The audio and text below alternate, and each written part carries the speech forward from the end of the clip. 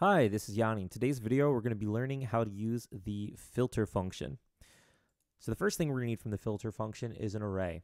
So I have this action over here called arrays, and here you see it's got a bunch of IPs in it. I'm just going to hit run. So we have that initial event data. Here we have all of that information right here. Great. Uh, what I'm going to do next is pull in an event transform so we can do our filtering and I'm just going to pull up plus and then value, and then I want to grab the filter function. The filter function is going to ask us for whatever array that we want to look at, and then whatever lambda that we want to use to test. And uh, in that lambda, we're going to set the item name, and then we're going to use an expression. So let's go through that.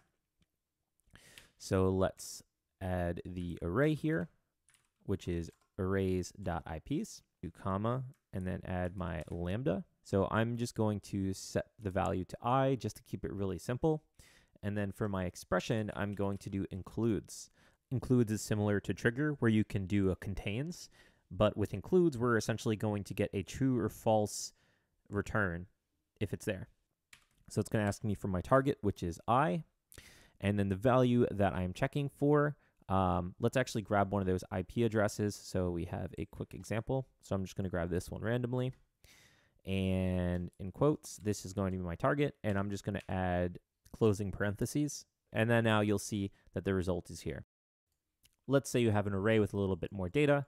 Over here, I have this other one set up with people where I have name, place, and URL. And let's say we wanted to make sure that we got all the people that were in London. So here we have Carol, but maybe there's there would have been a couple other people in the list. Uh, we can also use our filter.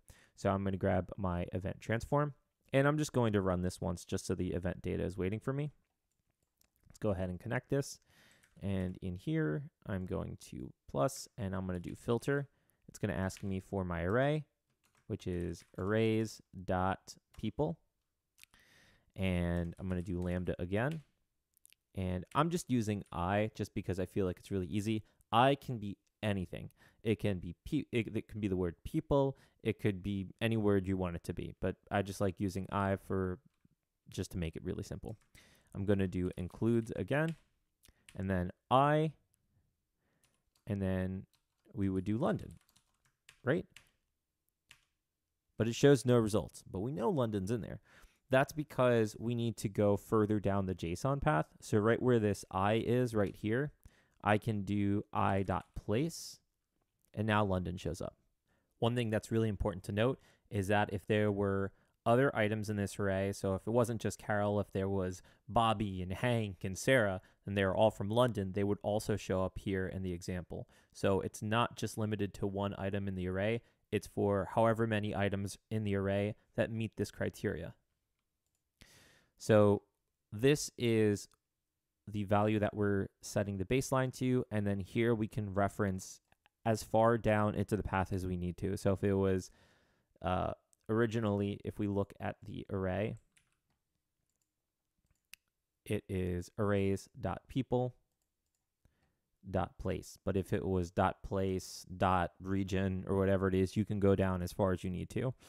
Uh, so this kind of makes it a little bit easier to go through and I'll just go ahead and re-emit my last event. And now we'll see in the event data, we'll see Carol.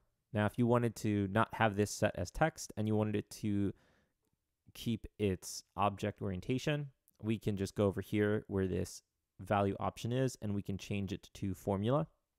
That will make it so when this runs, we'll keep that structure. We hope you enjoyed this, and we look forward to seeing you next time.